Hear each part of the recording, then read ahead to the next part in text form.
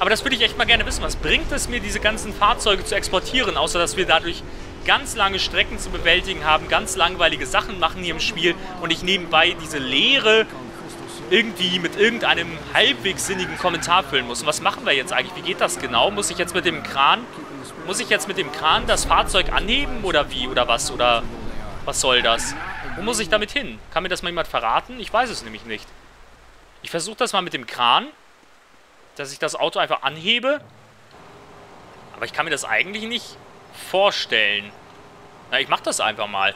So, wie ging das nochmal? Wie ging, konnte ich nochmal senken? Achso, genau, mit, mit, dem, mit, der, mit der Leertaste. Ach doch, das geht anscheinend doch so. Und das muss jetzt wahrscheinlich auf Schiff, würde ich mal sagen. Ich habe das noch nie gemacht, muss ich gestehen. Weil ich noch nie den Sinn darin gesehen habe. Ach, und da, da sehe ich schon wieder die, die, den Flammenwerfer, den ich unbedingt haben will. Deswegen gehen wir gleich mal aufs Schiff. Weil einen Flammenwerfer hatten wir schon lange nicht mehr. Hatten wir überhaupt... Genau, auch doch, wir hatten einen Flammenwerfer, als wir, als wir zum ersten Mal nach San Fierro... Wie ging das denn nochmal? Hier Maustaste, oder? Genau. Du hast dieses Fahrzeug erfolgreich zum Export abgeliefert und jetzt? Was kriegen wir dafür? Kann ich mir einen Keks freuen, oder was? Öh! Öh! Bitte 35.000 Dollar?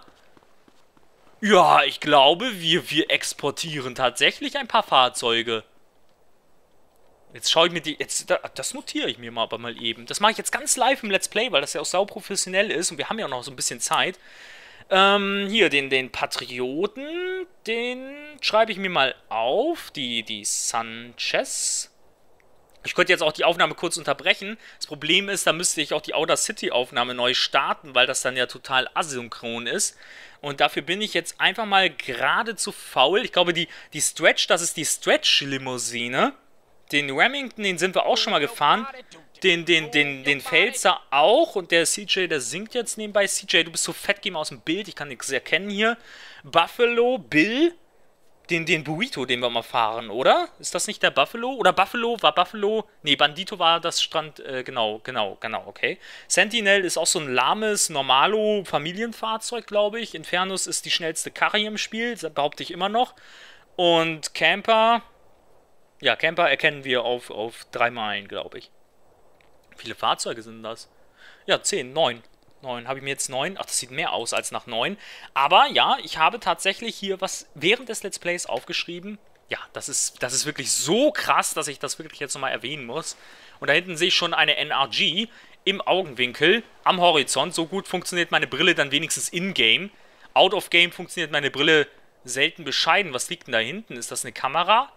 mit einem Weitwinkelobjektiv. Aber da auf jeden Fall erstmal. Und dann würde ich mal sagen, wie kommen wir denn jetzt am besten? Ich werde da mal bei dem San Fierro Flughafen, werde ich mal versuchen, ein Flugzeug aufzutreiben. Dann werden wir mal nochmal eben die letzte oder die vorletzte oder wie viele da auch noch immer kommen werden, werden wir auf dem Flugzeugfriedhof, werden wir nochmal eine Mission machen. Achso, und vorher muss ich dann auch nochmal eine schutzsichere Weste einsammeln. Hier in San Fierro kenne ich mich ja zum Glück aus. Und was mir auffällt jetzt in den letzten Parts, dass wir sehr viel mehr Freiheiten im Spiel haben. Denn vorher war das so, wir kamen in die Badlands, in diese, in diese Baum, Baumgegend, in diese Ländereien von Hogwarts und dann kamen wir in diese Stadt nach San Fierro und dann kamen wir in die Wüste und gleichzeitig auch nach Las Venturas und gleichzeitig können wir auch hier noch was machen. Also wir haben mehrere Baustellen im Spiel, wir haben ganz viele Möglichkeiten, und das, ist, das nenne ich dann tatsächlich auch mal wirklich Open World, aber Open World, die mir gefällt, weil ich kann mich entscheiden, ob ich Missionen mache oder eben, oder eben auch nicht oder eben irgendwas anderes mache, so, so Nebenquests, will ich mal ganz vorsichtig sagen. Weil, weil Skyrim, um nochmal Skyrim so ein bisschen abzuhaten, abzulästern darüber, Skyrim hat ja auch Open World und so weiter, aber da, da regt mich das auf, dass ich dann 10.000 Nebenquests habe. Das steht ja auch extra auf der Verpackung drauf, von wegen, ja, hat ganz, ganz viele Nebenquests, aber ich will nicht so viele Nebenquests machen. Das, das nervt mich doch total. Wenn, wenn mich alle drei Meter irgendein NPC anquatscht und mir irgendwie eine Nebenquest andrehen möchte, die dann heißt, gehe zum Alchemietisch oder bringe... Huch? Was ist das denn jetzt? Nee, das schaffe ich doch nie im Leben. Das kann ich nicht. Aber das machen wir mal eben. Warum auch nicht, wenn wir gerade hier sind? Das habe ich ja noch nie gesehen. Das habe ich noch nie gemacht. Aber das schaffen wir doch auch gar nicht, weil, weil ich ja noch nicht in der Motorradfahrschule. Und ich weiß gar nicht, wie ich an diese, an diese Ringe da oben dran komme. Da ich, kann ich mir keinen Reim drauf machen. An die komme ich wohl dran, aber das war's auch schon. Ähm... Ja, wie machen wir das denn jetzt am besten? Ich habe keine Ahnung. Vielleicht einfach dann hochfahren. Ja, ach so, ach so, ach so. Das machen wir aber, das schaffen wir doch bestimmt. Dann will ich mal sehen, was dann passiert. Ich wusste gar nicht, dass es hier so ein witziges Minigame gab.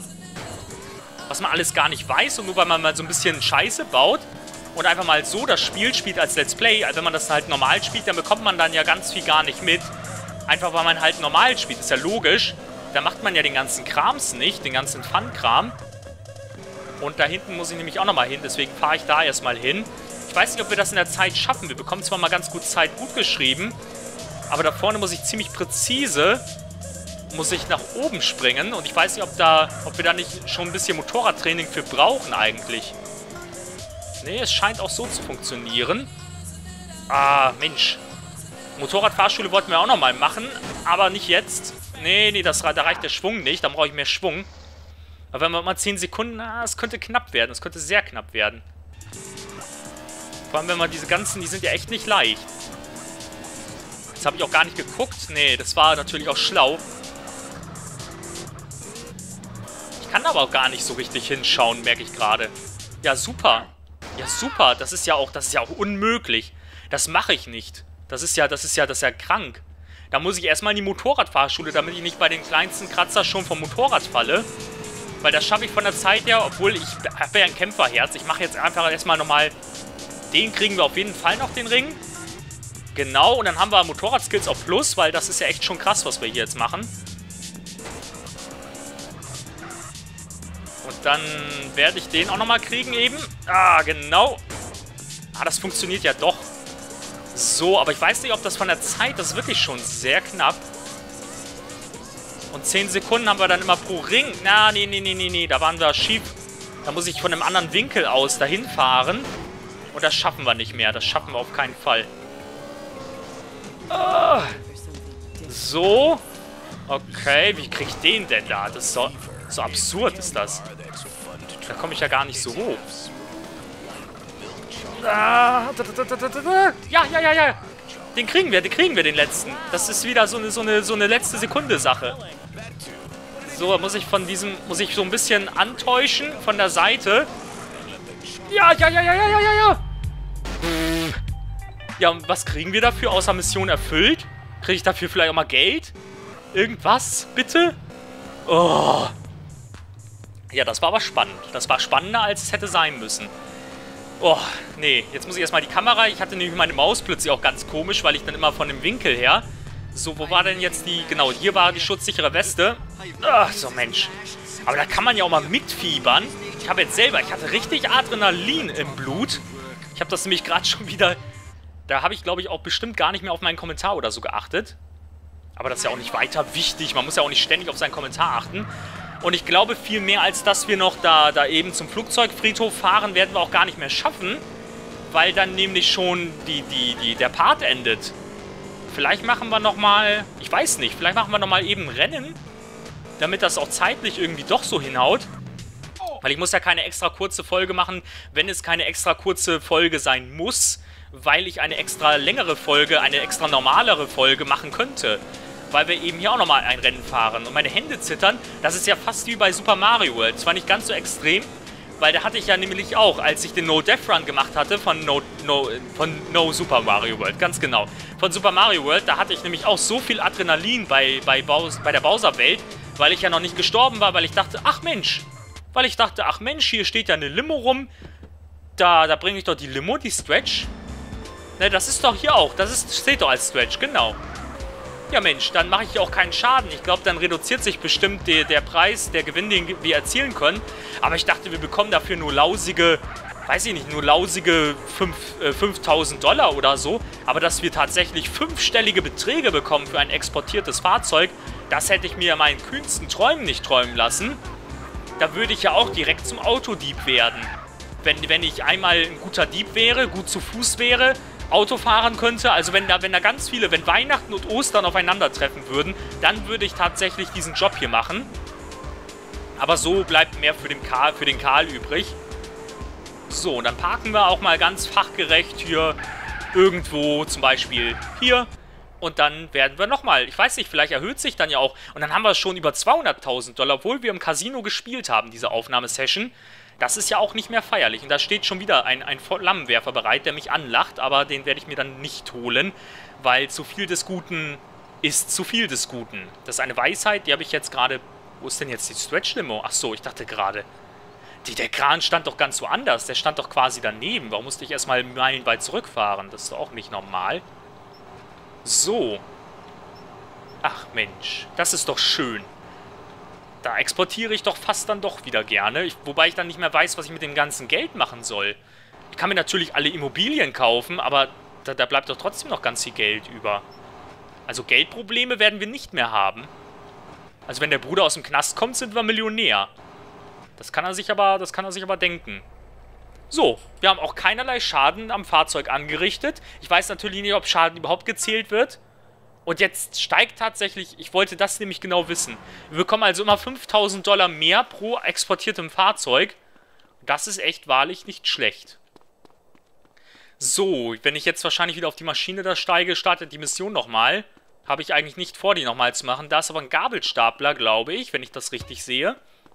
Und das Fett geht schon wieder gefährlich zurück. Aber wir werden trotzdem, wie ich schon sagte, wir werden kurz zum Airport fahren. Dann werden wir, also wir werden doch kein Rennen machen, denn das Rennen, dann kann ich wieder gleich eine neue Folge beginnen, denn das Rennen dauert ja durchaus mal nochmal zwei, drei Minuten, wenn ich dann nochmal zum Flugzeugfriedhof fahre oder fliege. Weil das mache ich einfach mal deswegen. Ich könnte natürlich auch hier abspeichern, aber wir wollen natürlich in der nächsten Aufnahmesession direkt was beginnen, direkt was machen. Und ich will ja nicht mit einer Aufnahme, ich will ja auch nicht mit einer Aufnahme beginnen, wo wir erstmal irgendwo hinfliegen müssen oder so. Und dann erstmal einige Minuten verschwenden, die erstmal langweilig sind. Das soll ja alles spannend beginnen, ineinander nahtlos übergehen. Vor allem wollen wir ja dieses Let's Play. Ich bin mal gespannt, wie lange das noch dauert, weil ich habe tatsächlich so ein bisschen Bauchschmerzen damit, dass ich neben Saints Row 3, neben dem Together mit dem Arcus, wenn es denn jetzt läuft, das hängt ja davon ab, ob das, Headset, ob das Headset von Arcus schon angekommen ist oder nicht.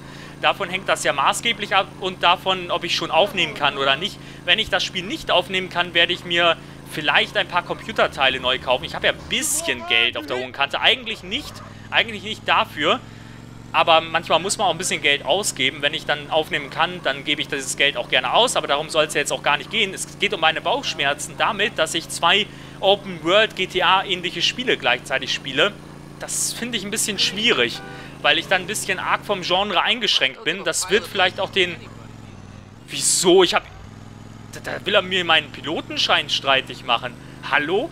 Ich habe, ich habe in jeder Mission eine Goldmedaille bekommen. Ich bin wahrscheinlich ein weitaus besserer Pilot als jeder hier. Frechheit. Vor allem, das muss man sich auch mal vorstellen im echten Leben, dass man einfach einen Pilotenschein hat und dann kann man auf dem Flugzeug, äh, Flugzeugfriedhof, ganz genau, da kann man zu einem, zu zu einem Airport fahren dann kann man einfach eine Maschine besteigen und als Privatjet nutzen. Das ist natürlich auch im echten Leben so. Das kann man sich ja Oh, da ist der Schamal. Ich glaube, so heißt der Flieger. Da ist noch ein zweiter Schamal. Und mit dem, mit dem Passagierflugzeug, mit dem können wir auch ziemlich cool fliegen. Ziemlich schnell auch eigentlich, auch wenn der Schamal gar nicht so aussieht. Ich hoffe, der heißt auch Schamal. Nicht, dass ich mich jetzt hier gerade blamiere, weil er Schamal heißt. Hey, ich habe hier voll Fachwissen und so weiter. Ah. Habe ich, jetzt, hab ich jetzt ausgeklappt oder eingeklappt, die Räder? Ne, jetzt habe ich sie, jetzt habe ich sie... Äh, da, da, da. Jetzt habe ich sie, glaube ich, eingeklappt, wenn ich das richtig sehe. Man ist schon ziemlich schnell. Und ihr seht ja, ihr merkt ja schon, selbst wenn ihr GTA San Andreas noch nie gespielt habt, gerade in den letzten Folgen und so weiter, wir haben schon viele verschiedene Flugzeugtypen geflogen und so weiter. Und wenn man das vergleicht mit GTA 4, da, da, sind wirklich nur Helikopter. Da sind zwei oder drei verschiedene Helikoptertypen und das ist alles. Und da muss ich ganz ehrlich sagen, Rockstar, da habt ihr echt gefailt, weil, weil einfach so, so ein Feature, was die Leute gut angenommen haben, was die Leute cool fanden, das einfach zu entfernen, weil 11. September, weil Spielwelt zu klein oder so, das ist wirklich lahm. Deswegen, was ist denn hier passiert? Warum ist denn hier alles, als wenn da Raketen eingeschlagen hätten? Oh, oh, oh, ich kann nicht landen. Das reicht nicht.